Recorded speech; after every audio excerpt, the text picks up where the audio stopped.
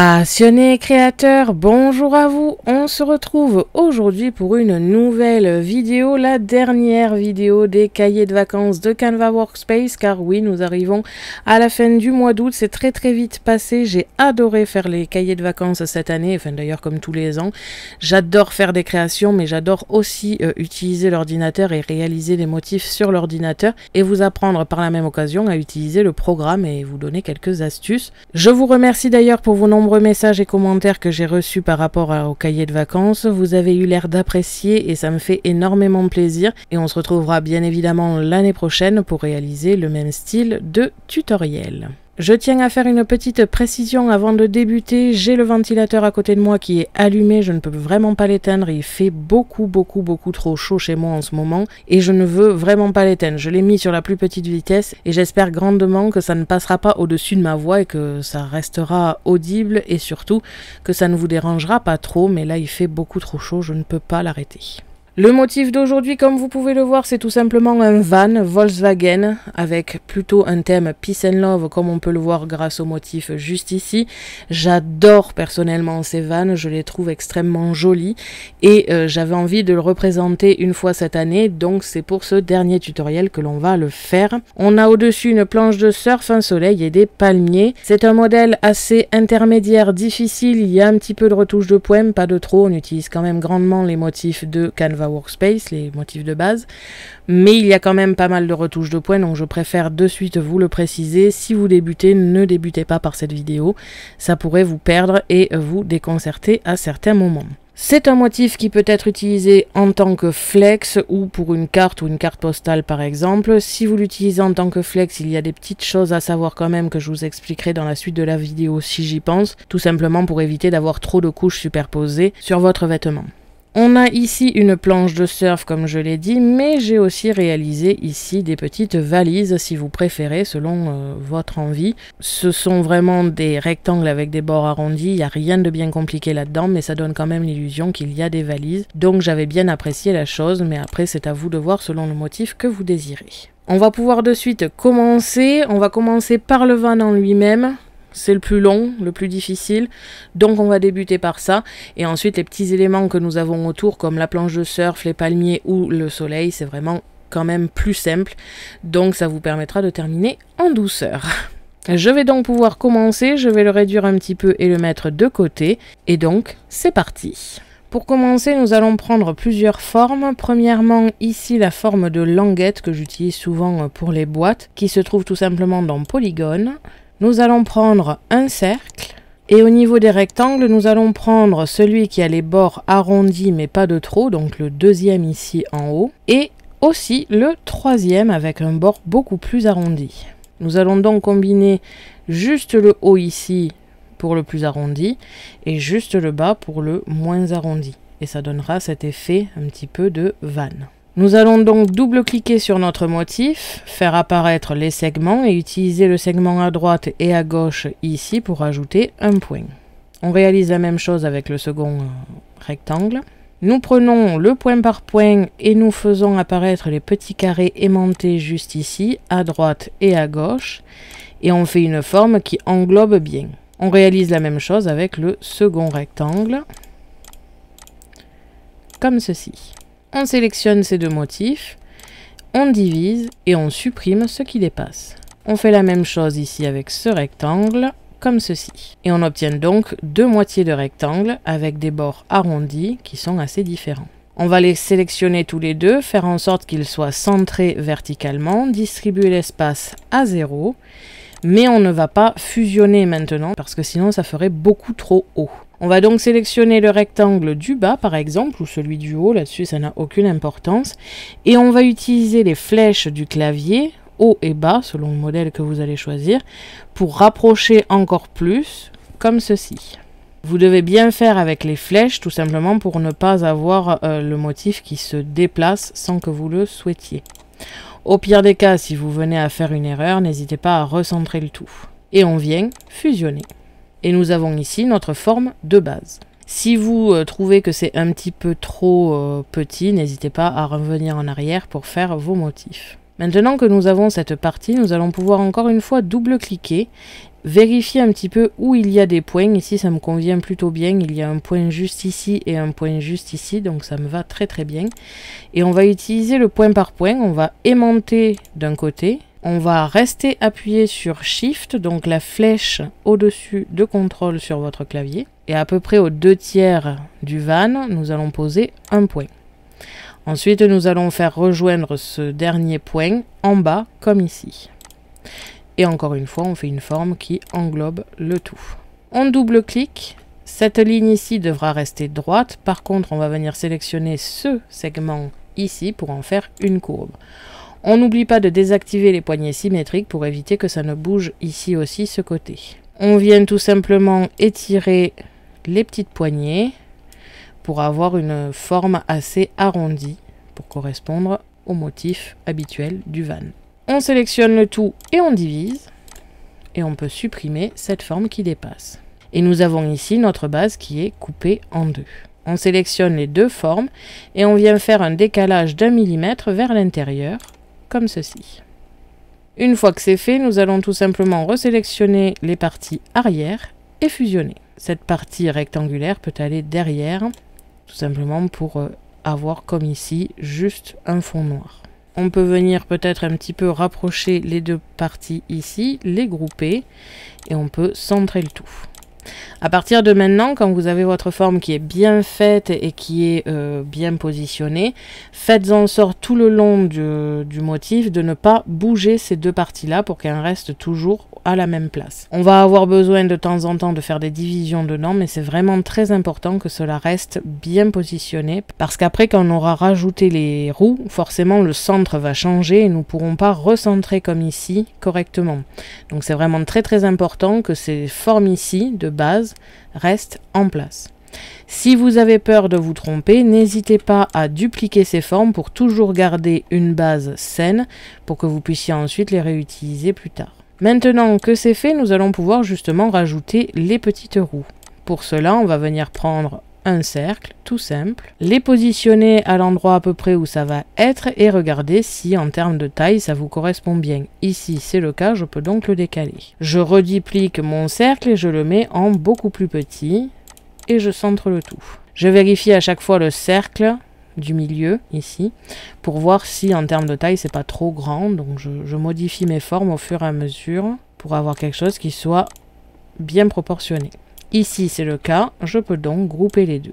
Je positionne à peu près à l'endroit où ça va être sur mon van. Je duplique et je positionne à l'autre endroit comme ceci. On va avoir besoin de dupliquer encore une dernière fois ces cercles, dégrouper et enlever le cercle intérieur qui ne nous servira pas.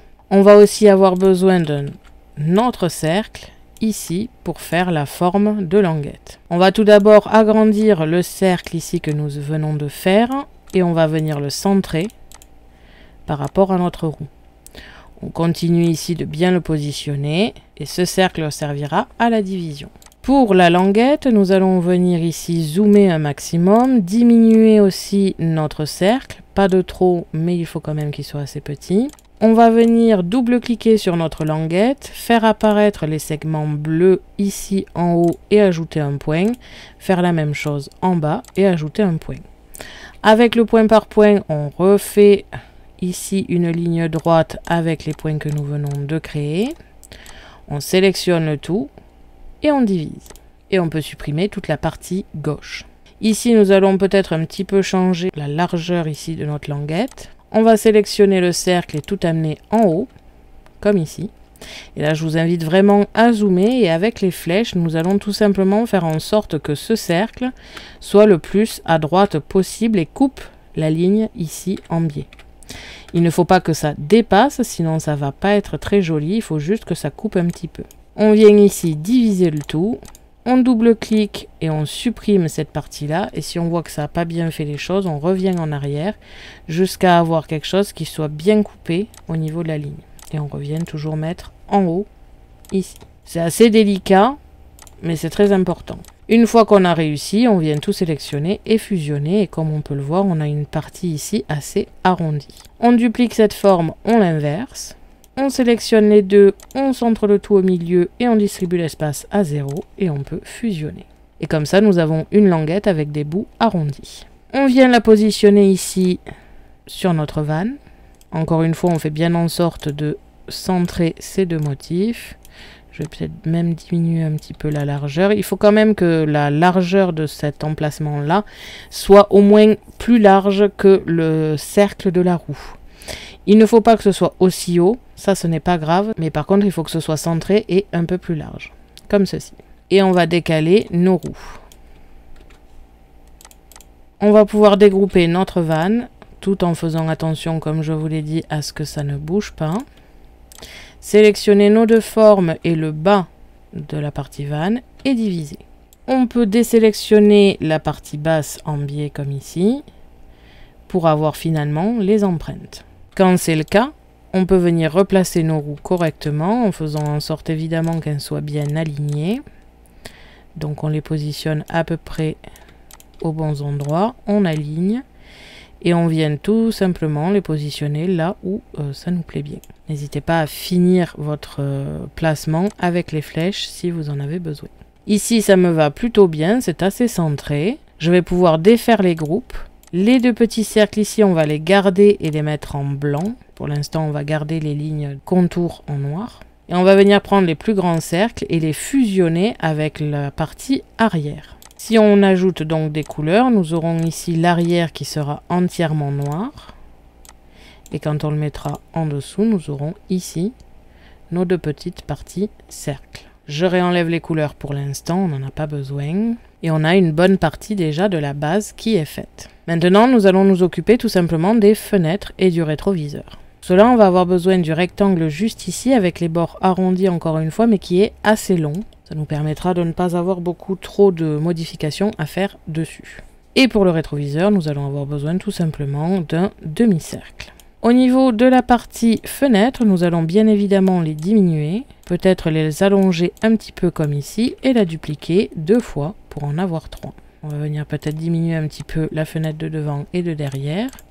On sélectionne les trois fenêtres, on fait en sorte que ce soit centré horizontalement et on vient distribuer l'espace horizontalement au centre. Donc ce motif ici, on ne distribue pas avec un millimètre précis, on vient juste faire en sorte que ce soit bien espacé. On vient sélectionner ici la partie haute et les fenêtres. On sélectionne ces deux formes et on fait en sorte que ce soit centré verticalement on va pas pouvoir centrer horizontalement, tout simplement parce que ici la pointe est plus basse. Donc forcément, quand on sélectionne, le motif est plus grand dû à cette pointe plus basse. Donc le centre ne se trouve pas au même endroit que si cette partie avait été droite. Donc pour ça, nous allons le faire à la main pour avoir quelque chose qui nous plaise bien. On va pouvoir dégrouper les fenêtres et on va venir faire un petit peu de retouche au point par point pour avoir justement ces parties très arrondies sur le devant et l'arrière. On va donc sélectionner par exemple le devant, on va venir rajouter un point sur le segment du milieu et on va pouvoir supprimer ces deux points ici pour vraiment avoir quelque chose de bien coupé. On va encore une fois ajouter une courbe sur ce segment et on va venir faire quelque chose d'assez arrondi et qui suive assez la forme que nous avons juste ici. Quand cela vous convient, vous faites la même chose à l'arrière mais en un petit peu plus doux. Donc je ne vais pas faire avec le point du centre ici, je vais encore en rajouter un là. Je vais pouvoir supprimer ici ces parties. Et encore une fois, ajouter une courbe ici. Cela nous permet d'avoir deux courbes différentes à l'avant et à l'arrière. Je sélectionne ces trois formes, je les groupe et je vais venir tout simplement créer un décalage d'un millimètre vers l'intérieur. Je peux maintenant tout simplement sélectionner mon groupe avec les arrières et la grande forme à l'arrière. Je divise. Je désélectionne cette partie-là et je supprime. Nous aurons donc ici les trois fenêtres et la partie arrière qui a été divisée. Cela va nous permettre tout simplement d'avoir un aspect fenêtre et un trait noir ici, sans pour autant avoir 36 formes à superposer. Si vous faites cela avec un flex, n'hésitez pas à diviser les petites fenêtres dans l'arrière ici. Cela vous permettra de ne pas avoir une superposition de noir et de blanc par-dessus. Ça dépend vraiment de ce que vous faites. Là, avec ce genre de motif, ça ne devrait pas trop déranger parce qu'il n'y a que deux couleurs l'une sur l'autre. Avec toutes les couleurs, avec le soleil, les, euh, palmiers et tout, ça va faire beaucoup de fois de chauffe. Donc autant éviter d'avoir trop de superposition, sans parler des épaisseurs de couches que vous allez mettre dessus. Donc après, c'est vraiment à vous de voir euh, ce que vous désirez faire. On va pouvoir s'occuper du euh, rétroviseur maintenant que nous avons ces deux formes. On va venir le mettre à 90 degrés ici. On va venir faire en sorte que ce soit quand même assez petit. On le positionne correctement là où on le souhaite. Ici par exemple. On va le sélectionner lui, cette fenêtre et la partie arrière. Et nous allons diviser. On va pouvoir supprimer ici dans les couches ces trois motifs-là. Ne garder que la fenêtre découpée et l'arrière découpé aussi. Cela vous permettra de toujours faire afficher le noir finalement quand les couleurs seront là. Pour la partie du bas, nous allons avoir besoin de plusieurs éléments. On va donc venir les prendre. On va commencer avec la partie rectangulaire très très très arrondie d'en bas à droite ici. Et avec le carré arrondi, le troisième ici de cette ligne. Encore une fois, nous allons diminuer le carré, faire en sorte de le positionner à l'arrière. C'est l'emplacement tout simplement de la plaque pour, euh, pour mettre l'essence. On le positionne là où on le souhaite, on ne va pas encore diviser. On va d'abord s'occuper de cette forme ici, que là encore on va venir diminuer un maximum pour avoir quelque chose d'assez fin, comme ici. On va venir le dupliquer plusieurs fois. Pour le coup, il vaut mieux trop que pas assez, donc vous en faites quelques-uns. Vous venez les prendre, les aligner verticalement et distribuer l'espace à 1 mm, comme ici, et le positionner derrière cette plaque. Je vais peut-être même venir ici la diminuer encore, comme ceci. Je groupe le tout, je le centre horizontalement avec le carré et je positionne le tout là où je le souhaite. Cette partie groupée, je vais pouvoir la diviser directement dans celle-ci. Je divise, je supprime ces parties en trop pour ne garder que cette forme-là. Et pour le carré, je vais réaliser la même chose que les fenêtres au final. Je vais donc mettre ceci de côté pour l'instant. Je vais le mettre à l'arrière ici. C'est quelque chose que vous allez devoir faire souvent avec les divisions et les fusions. Il va falloir à chaque fois remettre les motifs les plus gros à l'arrière, tout simplement pour ne pas avoir de mal à attraper les motifs les plus petits.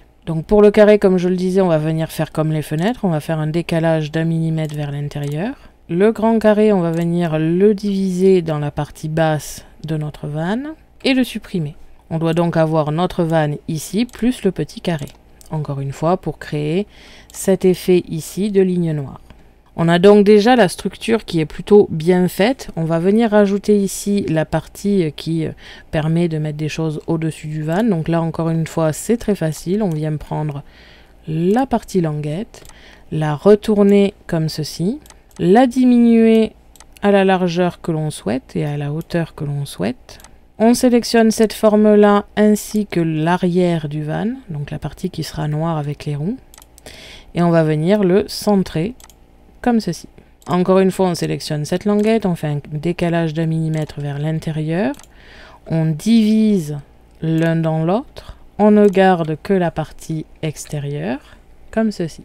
On sélectionne cette forme de languette et l'arrière du van et on fusionne. On repositionne cette forme au fond, dans les couches, nous avons donc une bonne partie du van. On va venir rajouter la roue de secours. Pour cela, on va encore une fois prendre un motif rectangulaire. On va venir prendre ce motif ici, avec des bords assez arrondis.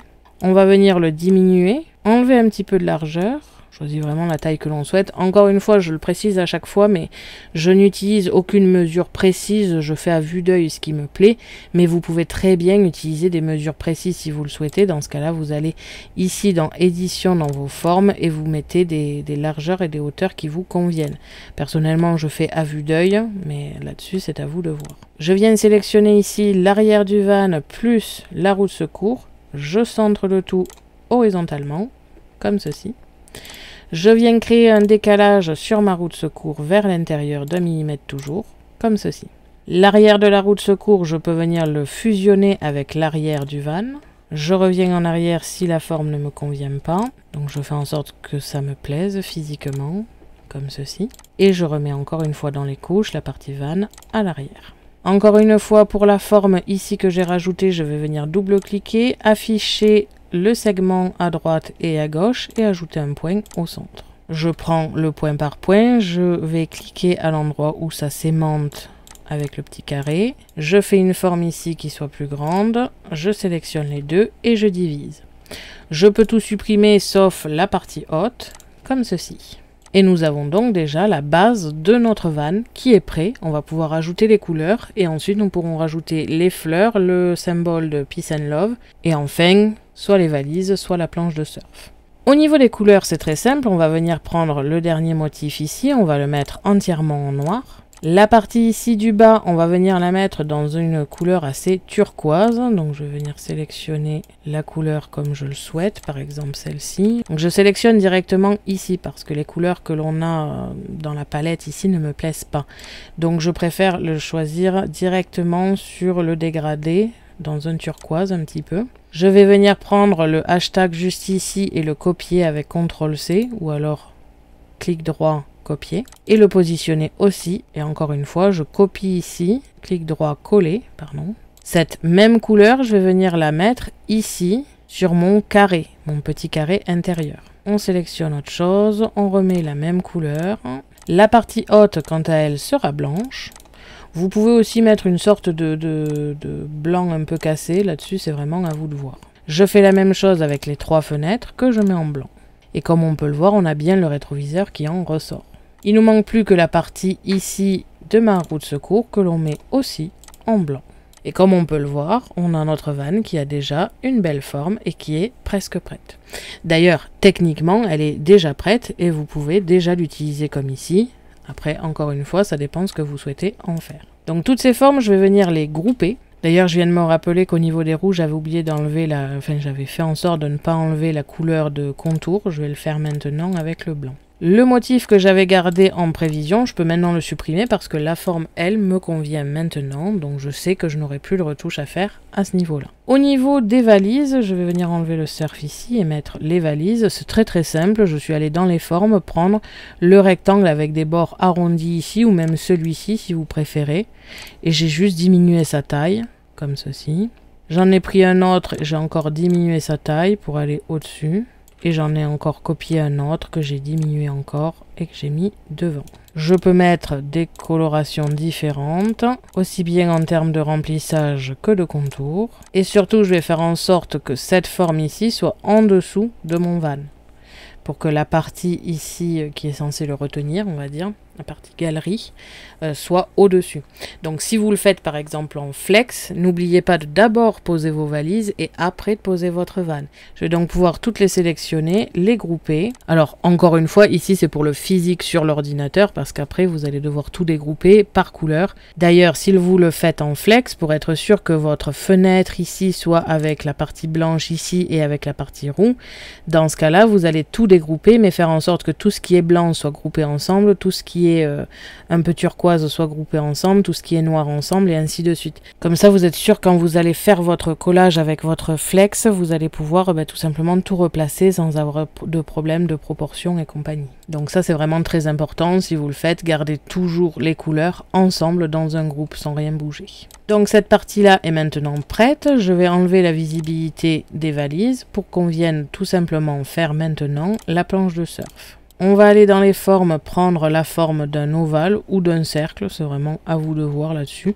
On peut même faire avec un cercle directement que l'on va venir mettre en ovale. Donc on va venir l'agrandir pour aplatir un peu cette partie-là. On va double-cliquer, appuyer sur le point du bas et le supprimer.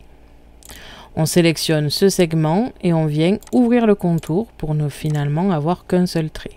À partir de là, on peut venir justement diminuer un petit peu notre forme, faire en sorte qu'elle soit bien en termes de taille par rapport à notre vanne, comme ici. On va encore une fois créer un décalage d'un millimètre vers l'intérieur, comme ceci. Et on va pouvoir supprimer la ligne de départ. On va maintenant faire le dessous de la planche de surf. Donc ça c'est encore une fois très simple. On vient prendre un demi-cercle. On vient le mettre à 90 degrés le positionner à peu près là où on le souhaite, on le décale un petit peu. On va double-cliquer pour afficher ce segment et l'ajouter en courbe. Et on vient inverser un peu la courbe pour faire finalement une sorte de croissant. Ici, ça me va plutôt bien. Je peux le positionner là où je le souhaite, sélectionner mes deux formes et diviser.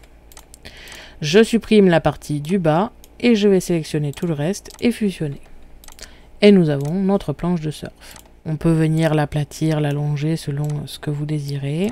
On va venir ici le rapprocher un maximum et on va le centrer à vue d'œil tout simplement parce qu'avec la roue de secours, ça a encore décalé notre centre. Quand ça vous convient, vous allez tout simplement rajouter encore une fois cette partie-là dans notre groupe, ici. Et vous pouvez enlever la visibilité, ajouter les valises ou autre. Cette partie-là est maintenant terminée. On va pouvoir passer aux fleurs et au symbole Peace and Love. Pour les fleurs, c'est très simple. On vient prendre ici un cercle avec un bord assez dentelé et un cercle tout à fait euh, classique. On diminue le cercle avec le bord dentelé ici jusqu'à ce que la dimension nous convienne.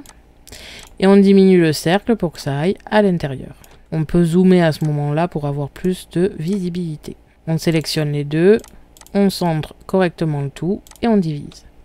On ne garde que la partie dentelée et on supprime le reste. Cette partie-là, on vient le mettre dans une couleur, aussi bien en remplissage qu'en contour. Et on duplique cette forme trois fois. Et on change les couleurs à chaque fois. Et on peut venir le positionner sur notre vanne en diminuant ou non les formes là-dessus, c'est à vous de voir. On réalise le symbole Peace and Love. Pour cela, on prend un cercle, un triangle et un rectangle. Ou un carré là-dessus, ça n'a pas d'importance. On sélectionne le cercle et on vient le diminuer à peu près à la taille que l'on souhaite. Comme nous allons créer des décalages, comme d'habitude, si vous créez un décalage de 1 mm quand le motif est grand, quand vous allez tout diminuer, ça va être encore plus petit et ça va être difficile à découper. Donc on vient d'abord choisir la taille du cercle, comme ici. On choisit la taille du triangle en conséquence, donc on va venir un petit peu écarter, comme ceci, avec le rectangle, en faisant en sorte cette fois-ci que la largeur soit de 1 mm. Et on fait en sorte ici que ce soit correctement centré. On sélectionne le cercle et le triangle et on vient faire un décalage de millimètre vers l'intérieur. Encore une fois, je vous invite à zoomer pour être vraiment précis. Les deux triangles, je vais venir les sélectionner et diviser et supprimer la forme intérieure. Je réalise la même chose avec les cercles, je divise et je ne garde que la partie extérieure. Quand toutes les formes vous conviennent, on va pouvoir tout sélectionner, encore une fois être sûr que ce soit bien centré et divisé. On supprime tout ce qui dépasse du cercle, on sélectionne le reste et on fusionne. Ici ça m'a créé des formes bizarres, je vais donc venir voir pourquoi. Ça ne me convient pas, je vais donc revenir en arrière, faire en sorte de fusionner les formes ensemble. Et on va un petit peu se concentrer là-dessus parce que forcément, des fois, ça pose problème avec le programme. Sur le modèle que j'ai réalisé avant la vidéo, ça n'a posé aucun souci, mais là, visiblement, ça en pose. Voilà. Il y a des fois, ça pose problème, mais ce n'est pas grave, ça peut facilement se corriger. Je viens ici positionner du blanc à l'intérieur en termes de remplissage et de contour. Je peux maintenant plus ou moins agrandir le motif si je le souhaite, le décaler un petit peu et le positionner ici par exemple. On a donc tous ces motifs, on va pouvoir les rajouter ici à notre groupe tout en haut, comme ceci.